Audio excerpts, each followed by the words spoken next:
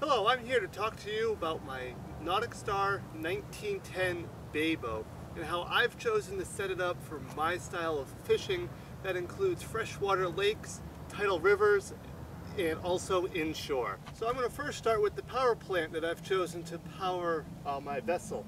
This is a Mercury 150 horsepower Optimax.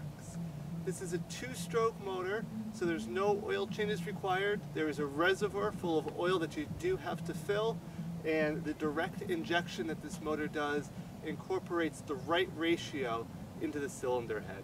And a very important component for any motor that you choose to use is the prop selection. I've chosen here to go with a Mercury Marine Tempest Plus 19 pitch prop for this boat in stainless steel. The advantage is that it doesn't flex, it stays sharp, powers the boat very well. The disadvantage is that if you do run into something, it's going to cost you. What I've chosen to do is mount my motor onto a manual jack plate. Manual means that you set it once uh, with a wrench and it stays fixed at that location. What this does essentially is it sets the motor back six inches which makes the boat seem a little bit longer, gets the prop into a little cleaner water. Also, it allows me to mount the motor higher than the gunnel is here. So you can see this motor is elevated a little bit to ensure I get maximum efficiency from my um, motor and prop setup. Also, this jack plate allows me to mount my transducer for my fish finder, and also this is a power pole, a shallow water anchor system that I can directly mount to the jack plate which eliminates me putting any more holes in the hull of the boat. One of the most frequent questions that I get asked when I'm at the launch recovering the boat is, what is this large black pole that I have sticking out on the back of my boat? What this is, it's called a power pole. What it essentially is, is a shallow water anchor system. I'm able through a wireless remote to simply hit a button that then will deploy this so that in shallow water, I don't have to drop an anchor with rope.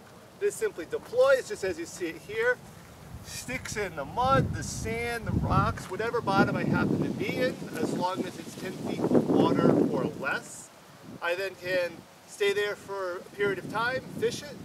When I feel I need to leave, I simply hit another button, brings it back up, stores it, and then I'm able to move on to my next location. So this is called a power pole. This is the Blade series and it's simply a shallow water anchor system. Two things I do for trailer rigging is I make sure that I have a bar to support my motor when I'm traveling down the highway. Also, I highly recommend, these are called boat buckles. I have the stainless steel versions. I do go into salt water. You simply pull these out, hitch it to the boat, and through a ratchet system, ratchet it right down. When you want to release, there's a nice release button, and they retract immediately. So I'm to start in the aft portion of the boat. Back here on both sides, we have stowaway seats, which are excellent. Also, there's storage available underneath. This is where I keep my cranking battery and also the oil reservoir for my two-stroke Mercury Optimax motor. So that's what's there. Nice, easy, stores flat, nice no skid deck. There's also a little grab bar uh, for the passengers that do decide to sit there. There's a replicating one on this other side. In the center here, it's approximately a 20 gallon uh, live well here, uh, which makes it great in the back of the boat uh, for baiting up or keeping bait uh, securely located here. And it simply closes right up, folds right over, and again, no skid uh, surface, which makes it excellent for being back here. You can see here from the helm, the center console, have the stainless steel wheel with the throttle. I also have my switches here for my nav lights, my bilge, and my aerators and various accessories. In front I have the RPM gauge, miles per hour, water pressure, fuel, and voltage. All important things to be keeping an eye on while you're out on the water. Mounted here is a nice dry box with a nice hinge that comes out. Inside I have a marine radio with USB uh, and aux imports here, uh, located right on the inside. Directly above this, I have my 1198 Humminbird fish finder and my compass for a backup.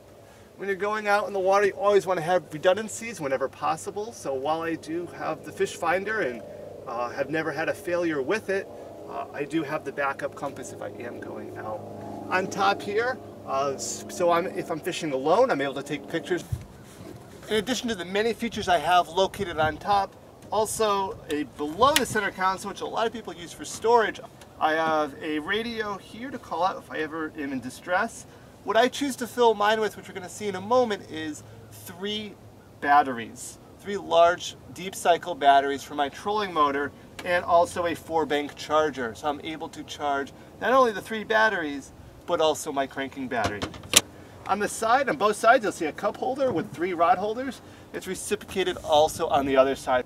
As I work my way to the front of the boat, I want you to see that I've installed this ruler and I mounted on the side of the boat makes it very easy for me to determine how big the fish is and then release it back into the water. What you see here is the front of the boat and what I'm sitting on is a nice large cushion chair with cushion back. This also has a grab bar in the front but doubles as a live well, a nice oval shaped live well in the front here. Okay, what you're looking at here is the front deck where you spend a lot of the time you're fishing, especially for fresh water. It offers three excellent storage components, all that drain over the sides. You can see the side one here, a large center one here, and a replicating one just like this on the port side. In addition, in the front, there is a storage locker for your anchor. This comes with an anchor, a storage locker for your anchor, beautiful area to store it, quick, easy, and efficient. See at the front, I also choose to put on a 1197 Humminbird here with side imaging. My trolling motor, which is a Minn Kota Riptide, 101 pounds of thrust and 36 volt. Those three batteries that we saw earlier, what power this? It allows me to run all day and easily move a boat of this size. Some of the key features that I like about the troll motor is the wireless remote that comes with it. This allows me to control the direction, the speed, but what I like most about this is that there's a little anchor. What this is, is called spot lock. This is Minn Kota trolling motor and they have something they call spot lock. What this trolling motor has in the head region is a GPS. When I hit this button, it remembers the GPS coordinates that I hit that button at, and it does not allow that trolling motor to move within five feet from that location.